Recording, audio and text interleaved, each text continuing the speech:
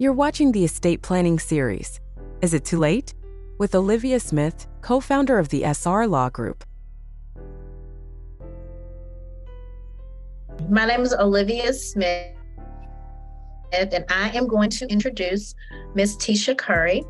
She began her real estate career in new home sales and has expanded her business to focus on assisting home sellers. Tisha has made a high level commitment to her real estate education, having been mentored and coached by several of the most highly acclaimed real estate industry. She earned her Bachelor of Science degree in sociology from Western Michigan University, a Master of Science degree in administration from Central Michigan University, and a Master of Science degree in real estate from Georgia State University. This multi million dollar sales agent is a certified new homes professional, the military relocation professional designation. Tisha is a past member of the Douglas County Board of Tax Assessors. She's a real estate coach to top producing realtors and teaches real estate principles at Georgia State University Robinson College of Business. Tisha has a special interest in military families. She is certified as a peer mentor with the Wounded Warrior Project and volunteered as an instructor with the Army Community Service Program. In her spare time, she enjoys entertaining at home with friends, live music, line dancing, and traveling. Tisha is a former teenage mom who believes through faith and hard work, the only limit to your potential is your own limiting beliefs. And I, I saw some of that line dancing in a recent in a recent post. I said, okay, get it. you actually did. That's fun. and I will be introducing our gerontologist extraordinaire, Miss Gina McKnight from Graceful Living. Gina is a committed service oriented professional who has aligned both her direct patient care, personal life experiences, as well as professional business experiences into a company that serves aging adults and their loved ones through their golden years graceful living. Through her caregiver training, advocacy, and education on senior resources, Ms. McKnight aims to empower care partners with the tools that they need to bridge the gap in healthcare services. Her client centered approach is focused on one goal to improve or maintain an individual's quality of life so they're able to age gracefully with both dignity and comfort. Respectively, Graceful Living's core values are to serve first with compassion, respect, and gratitude. In addition to caregiver training and advocacy, Ms. McKnight has worked in the field of advertising and marketing, business development for corporations such as Essence and Ebony Magazines, Universal Health Services, and Wellstar Health Systems. She has earned a Master's of Science in Applied Gerontology from Brenau University and a Bachelor of Arts in Journalism and Mass Communications from the University of South Carolina and has been a licensed realtor since 2006. She currently resides in East Point, where she serves as the Vice Chair, Planning and Zoning Commission Board, as well as an active member of Kiwanis Club of South Cobb. In her spare time, she enjoys expressing her creativity through music, and the arts, along with spending time with friends, family, and her fur baby, Chewy. Chewy! Thank you so much, Tisha.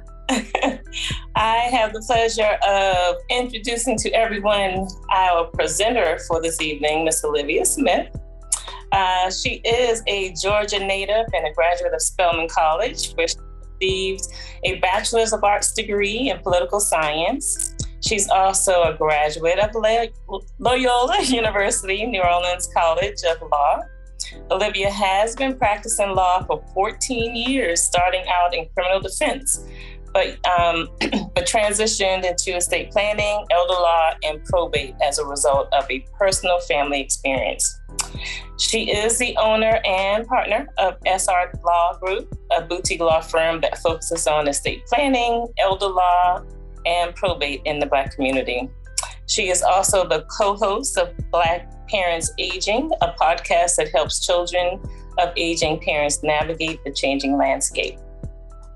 Olivia is a very active and engaged in her church and community She serves as the probate and estates chair for the Georgia Association of Black Women Attorneys and on the advisory board of Changing How Individuals Prosper.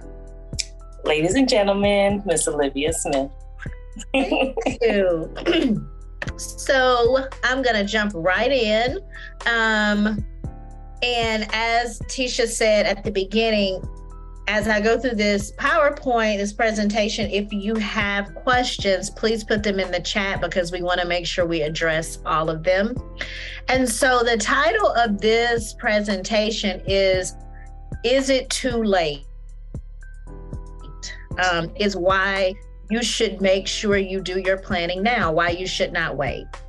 And so we're going to start with when is it too late? Because there is a, a point where planning kind of goes out of the door. And the first part is incapacity. Um, there are calls we get every week from people that want to plan on behalf of a loved one or a loved one has expressed an interest in doing some planning and as we gather more information, we realize that that person does not have the capacity to plan. Um, that maybe they have Alzheimer's, maybe they have dementia, and maybe it's progressed to the point where I can't rely that they understand what they're doing as far as planning, that they understand kind of what they own and who they will be putting into those um, like positions. And so at that point, I cannot do estate planning for them. And so they've kind of reached the threshold where planning is no longer an option for them. And then the other part is death, right? So, you know, if you haven't planned before these two points, you are kind of left with whatever the government decides is to happen with you or your things. Um, and that is usually a one size fits all. I had, was it this week? I think it was last week. A couple come to me. Um, the husband had just been diagnosed with dementia. And so they come to do their planning but they didn't have the sense of urgency I had with hearing he had been diagnosed with dementia. Um, and they were like, well, let's talk about it. We'll call you back. But that is the absolute perfect time to get it done. Um, you know, uh, um, your spouse has been diagnosed with dementia, but they are still of sound mind and they can still make those decisions for your, themselves. And so, um, making sure that you get your planning done so they can have their say while they um, have capacity. So this is when it's too late. No need to call my office. I can't do anything for you. And so, what are the things that we are trying to prevent by doing planning? So, there are five reasons, and I'm sure other people could come up with more, but these are five reasons that I've kind of pinpointed that make it important to plan now. The first is to consider avoiding probate. The second one is avoiding heirs property issues. The third is preventing someone having to get guardianship for you. The fourth one is someone having to get conservatorship for you. And then the fifth one is someone else, a court, deciding who is going to be the guardian of any minor children that you're responsible for. And so these, I think, are five very good reasons that you should not wait to plan. Mm-hmm. And so we're going to get into each one of these in kind. And then at the end, if you have any questions, please let me know. So, avoiding probate. So, clients come to me to do planning specifically sometimes because they do not want their family members having to go through the probate process. Um, it can be expensive, it can be time consuming, and if you don't know the process, it can be complicated. And so, if there is a way to avoid having to jump through this hurdle, um, that is something you should consider. In Georgia, depending, it, it really is from county to county, probate court to probate court when you're looking at how long does it take, you know, an estate to go all the way through the process? How long should we be looking at? And when people ask me that when we're doing their probate work, it's really hard to tell them. Um, it depends on the county, it depends on the season, it depends on what else is coming through probate court. And so, in a lot of ways, when you don't avoid probate court, you're at the mercy of probate court. Um, and so that is one thing to consider. And when you when you think about avoiding probate court, there are other things that you can be doing to make sure that your estate does not fall into probate court. For instance, making sure that all of your beneficiary designations are up to date. Um, if you have a life insurance policy and your beneficiary has predeceased you and there is no backup, the backup is usually it goes into the so if you have done your trust planning and you figured out how to avoid probate but you have this one thing that you have not updated that can fall into the estate and you wind up having to open up probate court oftentimes people call because per person, their loved one not home, right? But they had bank accounts and they were the sole person on the bank accounts. And where I, whereas I don't advise you to add owners, co-owners on bank accounts for all sorts of reasons, what you can do is add a pay on death or transfer on death beneficiary on bank accounts because when you or your loved one passes, the bank is going to lock that account because they don't know who's supposed to have access and they don't want to do the wrong thing. And so they're going to tell you they're going to wait for some sort of court order before they're going to give access access to those accounts. But if you have a pay on death or transfer on death beneficiary, it pays directly out to that person and you avoid having to go to probate court. So these are some ways that you can avoid probate court. And then, of course, if you're doing your planning, doing trust based planning versus will based planning will help you to avoid probate. So, avoiding probate, that is number one. Number two is heirs property. So, we hear a lot about families where there are 1 million people that own one single piece of land. Um, maybe not a million, but definitely like, like 20, sometimes 50 um, people that may own just a couple of acres. And you think, okay, how did that happen? It can be created by a will, it can also be created by not doing planning. And so, when you are doing planning, it is important to do effective planning. And oftentimes, if you say, I want all of my property, I want my property or the house to go all to all 10 of my kids equally, that may not be effective planning. And so we want to make sure that we're thoughtful in the type of planning we do um, because, you know, the whole point point of planning is to be easier and less complicated. And if our plan makes it more complicated and more likely that there's going to be some some family feuds, then we aren't doing a good job. If we don't do any planning at all, what the government says is if you pass and you have a spouse and children, it's split between them you have children, no spouse, is split between your children.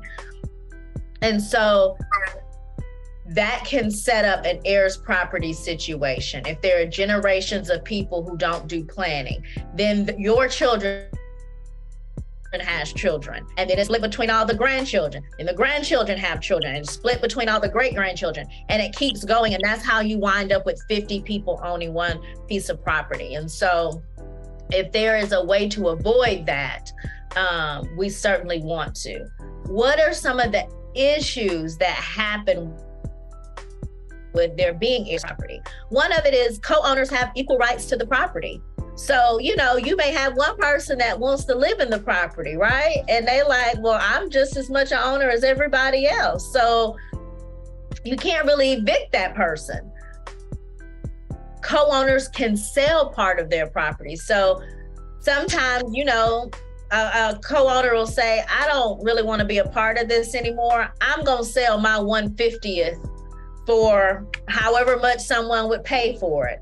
And so then you have a non-family member that enters the equation as a co-owner. Um, certain actions such as selling the property requires owners to agree. Selling the property requires owners to agree. Keeping the property requires owners to agree.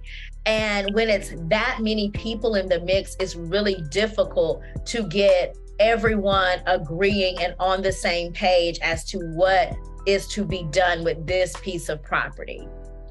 And there's always that one responsible person. And they're like, look, I'm paying the taxes on this property every year.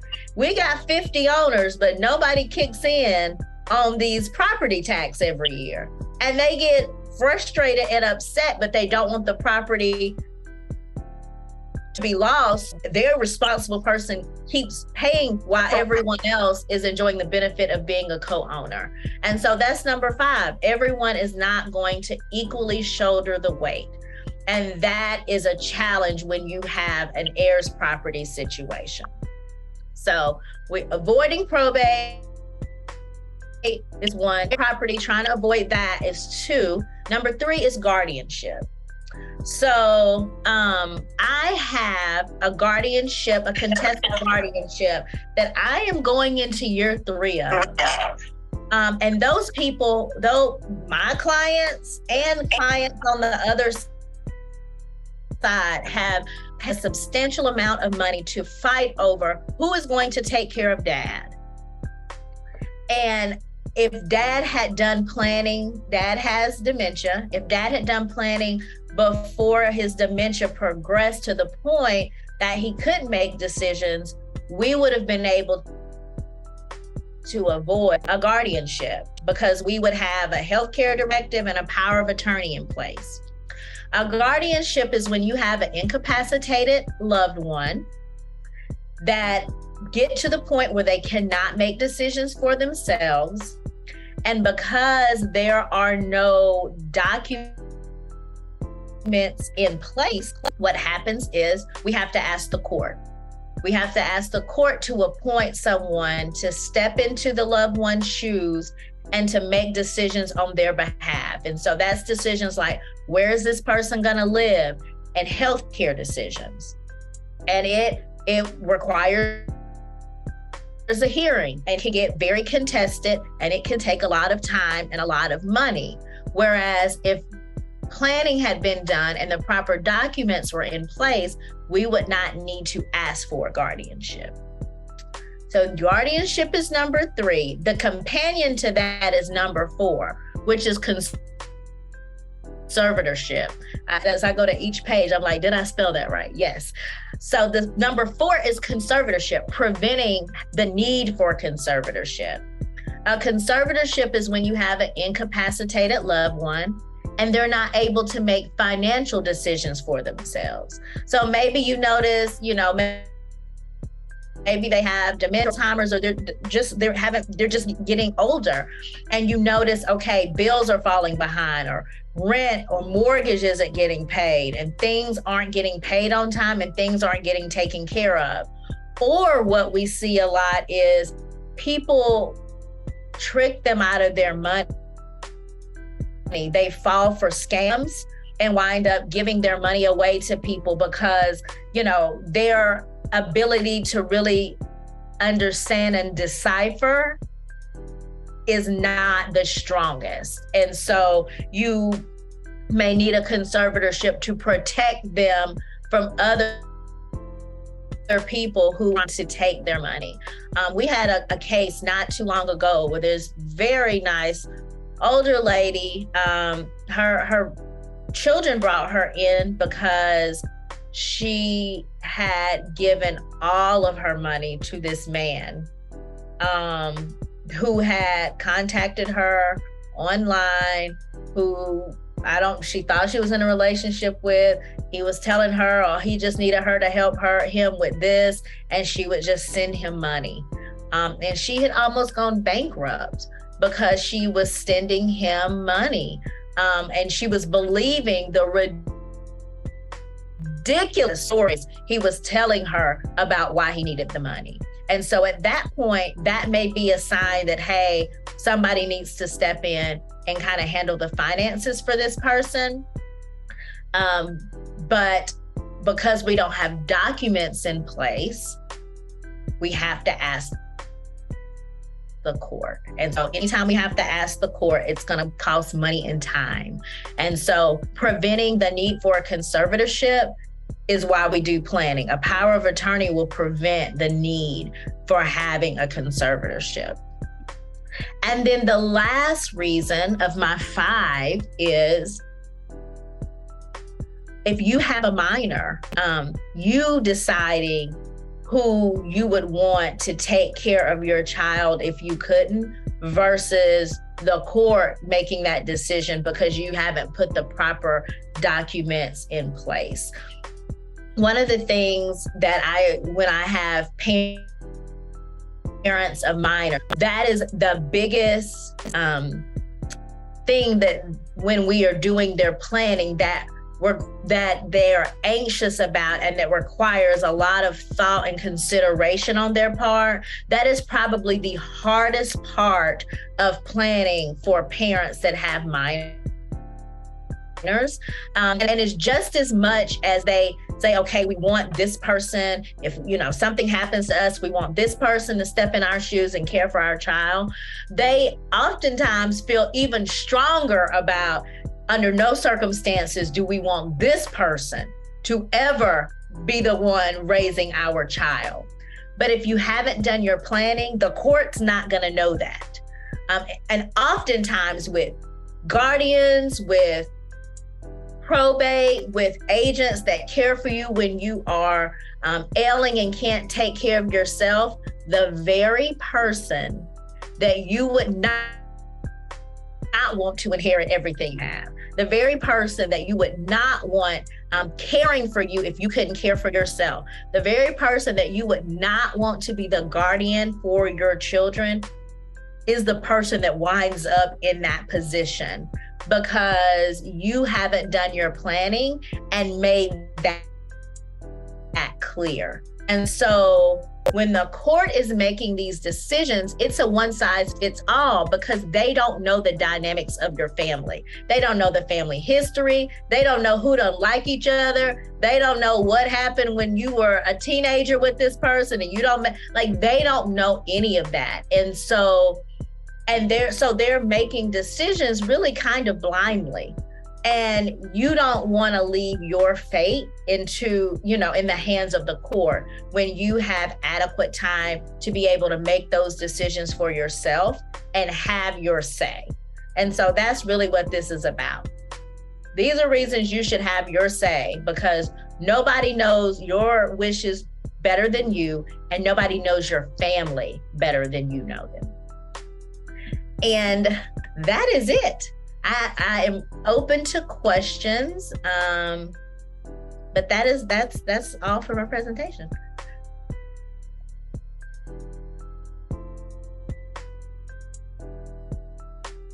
I'm looking to see Miss Olivia. Okay. Uh, there. Okay, we do have a question. Love questions. I think. Uh oh. I think. Hold on. Does parent Says the parents' will has heirs property. No one can sell property without everyone agree. Several attempts to put the property in a trust, but some co owners don't agree. Can two of the three executors petition the court to put land in a trust? What you, when there, there are co that don't agree, you can petition the court for a sale, depending on the um, depending on the size of the property, you can petition the court to parcel it out um, to each person so that everyone doesn't own the whole. I, I, I heard or known of a situation where the court has been petitioned to force someone to put it in a trust. So I'm not saying it can't be done. I just don't know of of, of an instance where that has happened. Okay, next question. What is step one to get started? Step one to get started with your planning? With estate planning. Yes, ma'am, I'm assuming. Yeah, call. Call, call a law office and oh, and and set up an appointment. Because quite honestly and i don't say that to be funny when you call for instance when you call our office we're going to say you're going to get set up we charge a consult fee you're going to get set up with a consultation day and time and then the next thing is we're going to say hey here's a questionnaire we need you to figure out. And then that questionnaire is going to guide you through what we need to know. We need to know who who is family? Who would want to you know potentially be a beneficiary? What are your assets? What are your debts? Um, so that questionnaire is going to guide you through the process of what we need to know so that we're prepared uh, on the day of the consult to have a fruitful conversation with you about what your needs are and what you want. Okay, next question. How does estate planning work if you're married? Will each spouse do their own separate estate plan? Yeah, so it depends on the situation of the couple. We have people that come that are married that do their um, planning separately because their spouse may not want to or they don't think it's important and they want their um, they want to make sure their planning is done. And then we have spouses that come together and want to do it do it together. When when you come with your spouse though, you have to sign a waiver because if we're representing both of you, that means we don't keep secrets. So, you know, if we're representing both of you as a married couple, then when you leave, you can't call and be like, okay, I don't want my husband to know about this. But then I can't represent you, y'all. You need two separate attorneys. Um, so you you sign a waiver that we can speak freely in front of the three of us can speak freely about what each of you want. So it depends on the nature of your marriage. If that's not something you are comfortable with, you should probably do your own estate planning separate from your spouse. Also, if you're in a blended family, um, it may be important for you to do your estate planning even if your spouse doesn't. Because if you have children that are not your spouses you want to make sure that you're providing for those children. And so that may require you to do um, your your planning even if your spouse doesn't want to.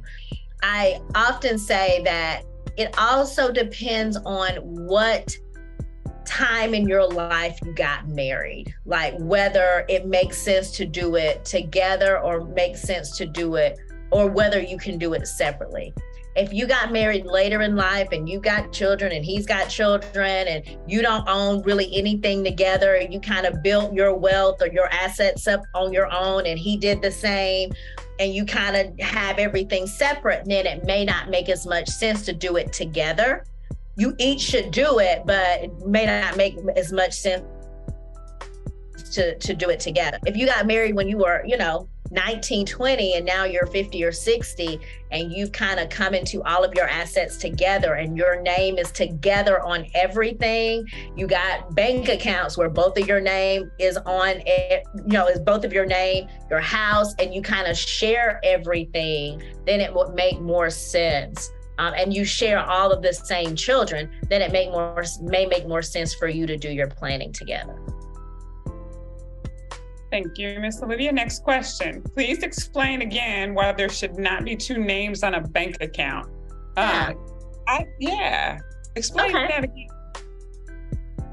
So if I have a bank account, um, and it's all my all my money's in it, right? But I'm like, okay, but you know, there may come a time when someone else needs to access my bank account. Let me just put Tisha on my bank account because none of this is her money in here. But I want to make sure that, like, if she needs access, it's not going to be an issue. And so my name is on as an owner, Tisha's name is on as an owner. And then Tisha is, you know, gets sued and she loses the case and then they're figuring out okay how can we collect and then they run their search and they say oh she got a bank account right. They're not gonna hear, oh, I, we just put Tisha's name on there so she can have access. She is a co-owner. So when you are the co-owner of the account, you are assumed to have money in that account. Um, or Tisha gets divorced and they're parceling out their assets. You are co-owner on account. That is part of her asset. And so it opens up liability. It opens up your bank account to whatever is going on. Or Tisha files for bankruptcy. You know, anything that happens with that co-owner, there is implications for that account. Even though in actuality, none of that money is that person's, they are a co-owner. And so everyone looks at at that account is partially theirs. Um, and so we want to make sure there are ways to have people on an account. If they're your power of attorney, you can add them as a power of attorney on an account and it'll have have your name, have them as the power of attorney, but that's different from them being the co-owner. If you were worried about access after you pass away and you don't want them to have, you know, the bank to to lock the account and you have to go to probate. That's why I suggested the pay on death and transfer on death beneficiaries because it, then it will pay directly out to those people. But we want to protect what's in that account and we don't want to subject it to, you know, any legal issues that a co-owner might have. Is that the same on personal accounts as as, well as business accounts? I'm not sure about business accounts. Um, whether that would subject, but I don't, I, I am not sure. Because usually the business account is in the business name. Correct. So I don't, I'm, I'm not sure on that. Okay. Thank you. Mm-hmm. All right, another question. Once you do estate planning, can you change it annually? For example, what if your adult children's lifestyles change and you need to take them off as beneficiaries? That's real. Yeah. So, um, your estate planning document should be living, breathing things. They should represent your life. As your life changes and morphs, those documents should change and more. Just think about if you do your planning when your kids are minors and now they're all adults, the, those needs and who gets what will change. And so you need to update. You get divorced, that needs to change both your estate planning and your life insurance policy and beneficiary designations. If you have a falling out with someone, it may need to change. If someone predeceases you that you've listed, it may need to change. So, depending on when you do your planning, they may, may be several different iterations of those documents, um, depending on what's going on in your life. Thank you. Now, before we go to the next question, I want to remind or or let our our um, our audience know that we have a survey in the chat for you we are uh, always collaborating on what the next topic should be. This is our sixth installment of the estate planning series. So we'd like your feedback on how we've done today as far as answering your questions and what other topics you'd like to see covered. So that feedback form is in the chat. So if you would do us a favor and just give us some feedback about your experience with us today and what you'd like for us to cover moving forward. Okay, next question. If yes. someone passes away while going through a divorce, is the spouse the legal beneficiary or the named individual per the living will? Is the spouse the legal beneficiary or the per so the person had a will and they listed um, who they wanted, which wasn't the spouse. Okay, so this is interesting. So was it, it, there's it depends. it depends. That's that answer. It depends. My it favorite. depends on where they were in the divorce. Okay. I had a case where they had like gone and talked to an attorney, nothing had really been filed. Um, and the spouse got every got everything. The spouse got it, that share. If there is a will, then um, those benefits, you cannot um, disinherit a spouse in Georgia.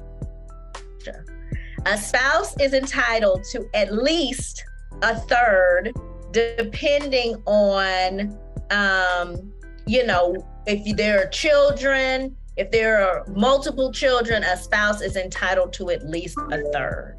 And so, um, if you have a will that different your spouse, it, a spouse is going to ask for their share and they're going to get it. So I'll just, oh, go ahead. You go ahead. I had a, a case, a current case, where there was a will. The person, um, when they, they drafted their will, they were not married. They have a brother and sister. They split everything they had between their two siblings. Subsequent to that, they got married um, from someone that don't live in this country and that they didn't live with.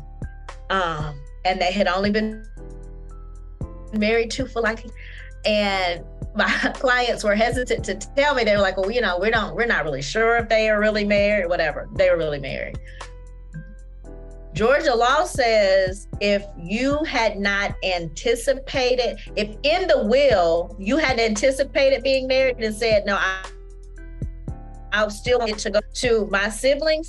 If you get married subsequently, that spouse, she took everything. She gets it all. Um, because Georgia law says that if you get married subsequently to having a will and it is not anticipated in the will that you are going to be married, then it is as if you, for that part, for the inherited part, as if you died intestate without a will. They, your spouse takes whatever they would take if you died without a will. And in this case, they had no children. So it disinherited my clients, which was a brother and sister, and the spouse took 100% of the estate. And that was a really tough pill to swallow because he done it, he done the estate plan 20 years ago and he got married in the last two years. And those two, and that is why it is important to update your plan and your document as your life changes. He didn't. Um, and that was really hard for my clients to sit by and watch someone they didn't really know, someone he'd only been married to for a year, someone who never even made it to this country, take everything. So the flip side of that is if a husband and wife are going through a divorce, the divorce is not final. Yeah. The spouse uh, the spouse changes beneficiaries in the middle of the divorce process, but the divorce isn't final who gets the estate? So that is a. I, I'm not sure. I've not had that happen. I want to say is if you if you have filed because in my case they hadn't filed, so we had nothing. I think that would probably be a hearing, um, and a judge would decide. But if you are in the if you are in the midst of a divorce where it has already been filed and it is clear that you are um, are divorcing and you've changed your beneficiary designations on your will to reflect that i don't know for sure. And i can i can look it up. There's probably case law that tells me. Um, and and s- send something out but i'm gonna say it's a pretty good chance that that spouse is, or that well, future ex spouse isn't going to inherit. When you look that up, because that might be a situation where that is what's being contested, whether or not they can do that, right? Yes. Yes, yeah. I will look that up. Okay, good. Good to know. All right. Uh, next question What is the role of an executor? Let me just, I'm going to make a note. Okay, no problem.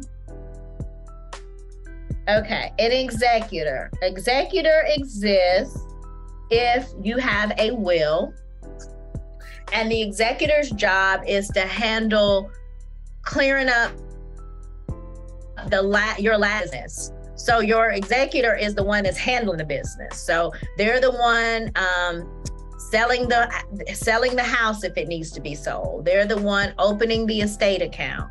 Um, they're the one filing your last taxes, your last personal taxes.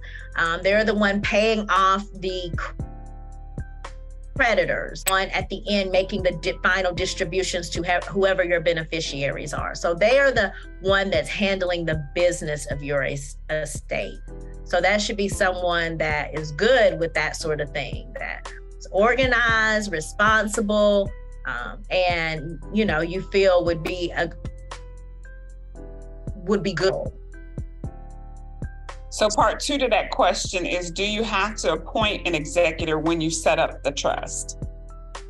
A, oh, so, a trust, you would appoint a trustee, not an okay. executor. Um, and yes, you would need to appoint a trustee because you're gonna need, you're the trustee. But after you are gone, who is going to step in your shoes and continue to handle the the trust, the business of the trust. You ha- would have left a list of instructions, and then it would be would be their responsibility to follow those instructions. Um, next question: What are the most common trust accounts? So the most common trust is a revocable trust. It's a revocable living trust it is a trust that allows you to add assets to it as you accumulate more. It allows you to take assets out if you want to sell or do something else with it. Um, it really allows you to act no different than if it were in your name, even though now it is in the trust name.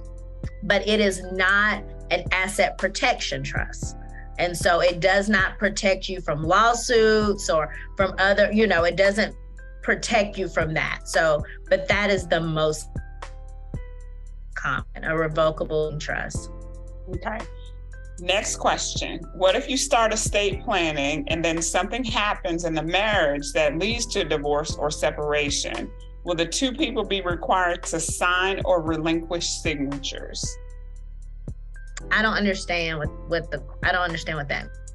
Okay, so whoever it's our estate planning if you don't finish. Well, we're going to ask for clarification of the question. Okay. okay. Um. All right. So one person said their son's father passed. He said he he said he would be taken care of because he set up something, but I don't know what. Is there some way to find out that info? Um that's a hard one because we don't know what that something is. If if um, you know your son's or your child's father passed, his estate is going to need to be probated. Ideally, that through that process, you will find out what is out there. Um, there are searches you can do. There are there are bank account searches and there are life insurance policy searches that you can do but it usually requires approval. So it requires you to have some sort of need to make do those searches. Okay. Next question. And, and let me just say if your son's father passed and nobody is um and no one is probating his estate as the other other parent of a child that is potentially the beneficiary or the heir to his estate, you might be able to open probate on your child's behalf um, because there may be something coming to him. Awesome. Thank you.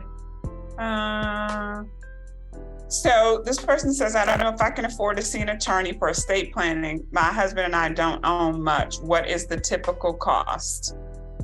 it, that is hard. Um, so I will say, usually planning for a will, will planning, will power of attorney, healthcare care directive, usually starts, I would say, 1500 and up. Um, trust planning starts, that's really difficult. Um, because it does depend on your assets. Trust planning is usually more than will planning on, on the front end. if you have to probate on the back end of a will um, and you don't know how to do it, you don't know the process, and you hire an attorney and you have to pay the attorney, it's going to be more together. But on the front end, a will is cheaper um, than a trust. On the a trust, you don't have to probate. Um, so a trust is a, on the bottom, like on the low end, a couple thousand dollars for sure. Um, but if you are saying you and your husband don't have a lot, people never think they have a lot. So if you're saying, okay, we don't have a home, a home is usually the biggest asset. You say, okay, we don't have a home, we rent. Then there are ways to get around needing to plan those beneficiary designations, putting those pay those beneficiaries on your bank accounts, making sure your life, making sure all of the designations are updated. Um, you may not, everybody doesn't need necessarily the same thing. And so when we say planning, it's not one size fits all. It's not everybody gets a will. After we talk, we may say, okay, you need these life documents. You need a power of attorney. You need a healthcare directive. You need a HIPAA. Um, and you need to do beneficiary designations and you should be good. So it just depends. Um, I do think everyone needs a power of attorney and a healthcare directive. If they don't have anything else, those are two documents every single person needs. Those are life documents. Those are documents that go to into effect while you are still here. It also gives your agents the power to do some planning on your behalf if it is needed. And so those are two documents I think everyone needs. All right. So, next question What's the best way to remove folks from your bank accounts without folks getting upset, assuming you don't trust them, especially when you're the only one making deposits? I don't know if there's a, you know, you have no control of where the folks gonna get upset. They probably are gonna get upset. Um, that doesn't mean you shouldn't remove them. Um, you know, some when you're handling these situations, both when you're having tough conversations with family and you realize, okay, I need to undo something that I have done, um, you have no control over how they're going to react to it. That's what we cue in Gina down there as the gerontologist who kind of does the, you, you know, who mediator with families in these sort of circumstances. That was a, that was a different one. That was the tough conversations one. yes, absolutely. that is a tough conversation. You answered it perfectly because at, at the end of the day, you can't, you have no control over anyone's emotions. But there's ways that you can get around that um, because at the bank, they that person will have to know. just might have to open up another account it. That's yeah, real. And it's just that simple. Um, and a certain amount of money goes into that account that's actually shared, but you can open up another account. And um, and now I'm thinking about even with that situation, in Olivia, you touched on something I did not know being married. Uh, that changes things, huh? On what? how much person is actually able to uh, you know, be entitled to if you have um, things. So, I mean, at the end of the day, one third is one third if you have a separate account or or not. Well, that's why we're here to educate folks on, you know, and that's at least. That's right? at least, you know, in my example, the spouse with my client, spouse took it all, 100%, like windfall.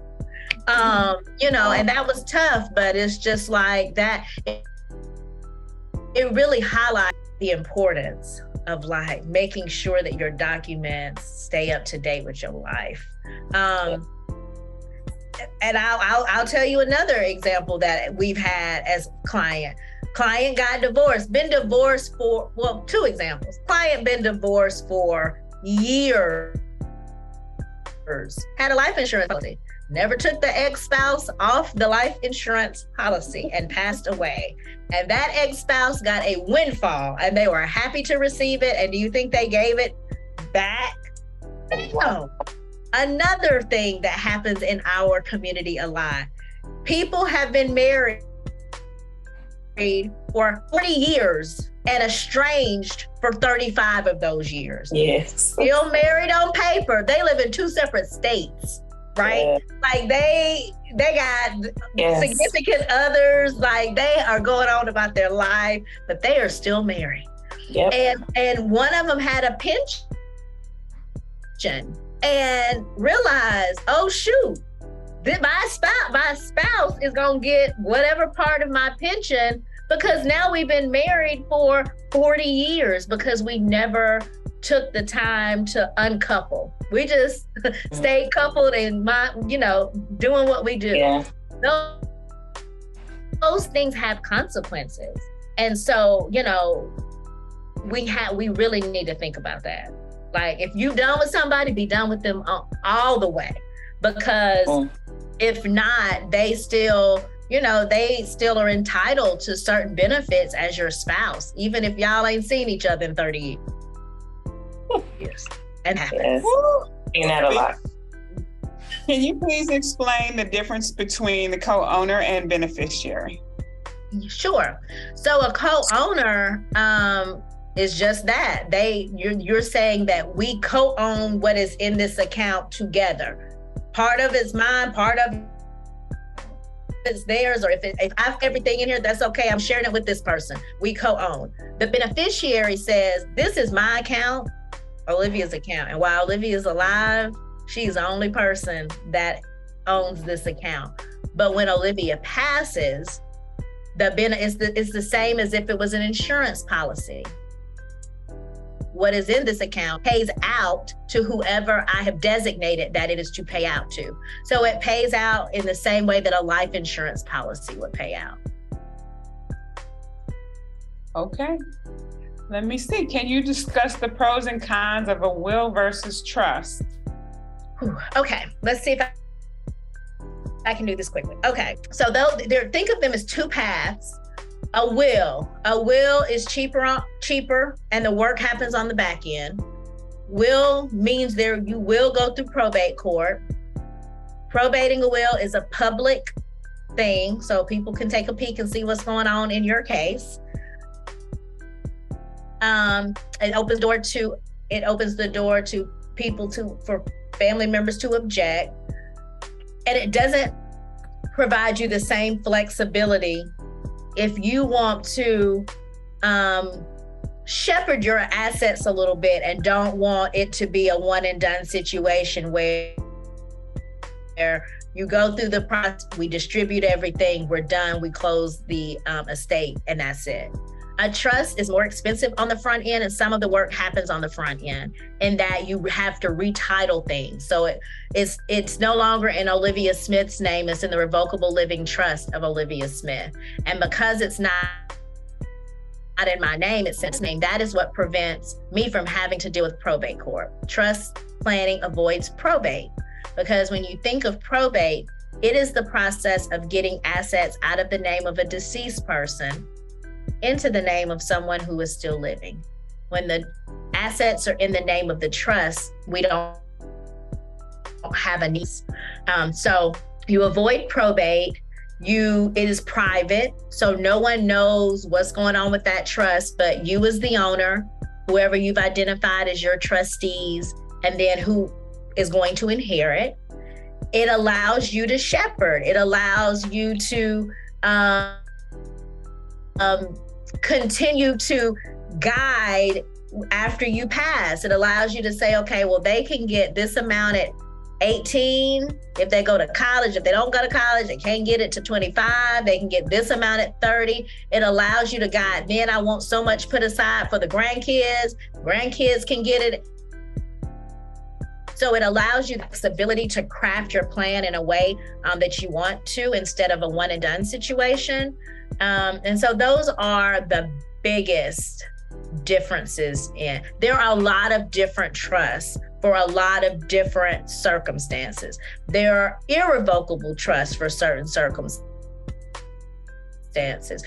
Are special needs trust for, you know, if you have a loved one that has special needs and receives government benefits. So there are a lot of different trusts. Those are the main two differences, though, between a will planning and trust planning. Okay, next question. What if you have a prenup agreement? The spouse can only get what's in the agreement? Yeah. That's a question mark. Okay. Yes. And I and we and I and um I advise people, look, get a prenup. And your your your if you have a prenup and you are doing planning, you should let your attorney know that you have a prenup and that should guide how you do your planning as well. So you want those two things to work together. Awesome, thank you. What are the tax implications of not having an, a, I'm assuming an estate plan? Now, now I'm not a tax person. Now, what I can tell you is I, I, I refer you to your financial planner for all tax questions. And I ask you if you want me to have a conversation with your financial planner to say, okay, this is what on the estate planning side, this is what we've come up with. This is what, you know, here are the goals. This is the mechanism and vehicles that we are going to get them to their goals. From a tax perspective, is this good or is there something else we should consider because these have tax implications?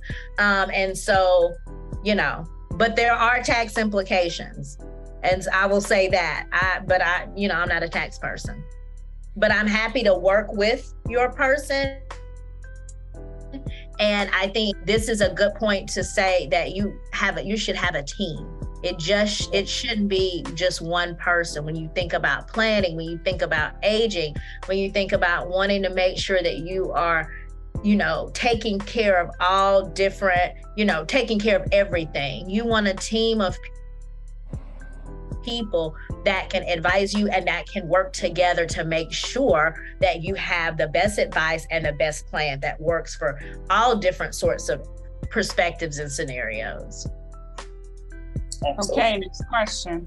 How many states are there where common law is legal? If a person states that uh, a girlfriend is a life partner, is that a legal partner? It is not. Um, that's something else we like. We like to have lady friends and man friends that we didn't have for 20 and 30 years, but they that is not a legal that is not a legal um, position. That's not a legal name, and you will not to. We've had a couple of those in the last month that have been really difficult that um, have had a lady friend for like 30, 40 years that that person took care of this person. And then they pass and you don't, they don't inherit anything. They're not entitled to anything. That is really difficult. That is a really difficult conversation to have with that person. Um, common law is is a thing in some states. I can't tell you how many. I think Texas is one, and I can only tell you that because we have a case where we were waiting to see if they were going to be acknowledged as common law spouses because it was going to determine how the distribution was made. They were determined not to be um, common law spouses, and so that person did not inherit. But um, I wouldn't leave it I wouldn't leave that to Georgia isn't one of those states, and I would leave that to chance. All right. So, what if you start estate planning and the marriage is strained? How can uh, one begin to get the spouse off the accounts? Um, take take them off. Set up separate accounts. I think I don't know, this is not legal, but I think what Gina said is like just open up some different accounts and slowly start defunding the ones that are joint accounts. But I don't know that that's a legal answer. And let me just say this if you are in the middle of a divorce, I'm not a family law attorney, but if you're in the middle of a divorce and they trying to figure out assets, you cannot hide your assets. It'll be found anyway. like, you know, yeah, they have forensic people that will find every penny that is in your name. So if you are trying to do it for that reason, don't do that. Um, so if you're in the middle of a divorce, I think the prudent thing for me to tell you is to talk to your family law attorney about what is appropriate and what is legal. Because what we don't want to do is advise you to do something that's going to get you in trouble um, in the middle of your divorce. Okay, next question. Is there a statute of limitations on uh, claiming against an estate? Claiming against an estate. Are you saying? Um, like, is there a statute of limitations by which you can make a claim to an estate? Like an objection? No. Well, I don't know, but here's the example that I would use. Okay. Okay. So, I, you know, I'm going to use the real estate one, right? You uh, were not aware that someone passed. There's some land. The land has been sold. It's been subdivided, and you say, "Hey, but I still I didn't get my money." So that would, the way I understand it, maybe is there is there a time frame by which you have to raise your hand and say, "I I'm entitled to a portion of this yes. estate," and what is yes. that time? Yes. So usually objection period is like 30 days after it's filed because the okay. the thing is when we file a petition the heirs have to be listed. The heirs have to be listed and they have to publish to say hey this person passed. They've opened this estate if you are an heir, now is the time. Now, I will say that probate has not caught up to the fact that nobody's reading the newspaper like that anymore. Right. Um, but they publish for that reason. And in many cases, that is the time that we found out about children that nobody knew about. Because that is when they file into the case and say, hey, that was my dad too. And I'm entitled to part of whatever he left. Um, and that is the point at which all sorts of chaos ensues. But generally, what happens, people file into the estate, say, hey, that was my parent, that was my dad. Then we have to do, we have to stop and we have to do DNA testing. Um, we have to confirm that, yes, this was your your dad, because usually it's the dad. Um, and then we add them on. We have to to um, take what we file and add, add, have this happen, add, add them on as an heir. Um, and then they are notified as a part of the case. I've also had people come to me and say, and it had, it would have been years that like their dad died, that they were estranged from. They didn't really know the estate was being probated. People may or may not have known about them but the estate has been probated. The assets have been distributed. Like, I don't know what the remedy is at that point. Um, and so, and I, and I don't know that there is a remedy at that point. And so, you know, I think there is a time by which it's just too, too, too bad. Like you just lost, you lost the opportunity. But usually, you are supposed to uh, have gotten notice and have the have the opportunity to object within 30 days of the filing of the petition. Okay. So next questions. What do you advise if you know family members change the will just days prior to someone dying who were not mentally stable? You're gonna have to object to the will. I mean, that's the, I mean, they, they're going to probate the one object and you're going to object. You're going to say, there's only a few like reasons to object. You're going to say it was fraud. You're going to say the person didn't have capacity, or you're going to say there was undue influence, or you're going to, yeah, that's fraud with somebody else signed. And you're going to, they're, you're going to have a, a, a trial and the judge is going to decide who, you know, who has the best evidence and, and who they believe. Okay. So I just want to say one more thing. Thank you so much for joining us. Please leave us your feedback. If you found this webinar enjoyable on the survey form, please leave us a testimonial and let folks know um, how your experience was with us. Also, give us an opportunity to answer additional questions for you um, let us know what additional topics you would like for us to cover moving forward. I want to say a, an amazing thank you to the incredible Olivia Smith Esquire. Oh, thank you.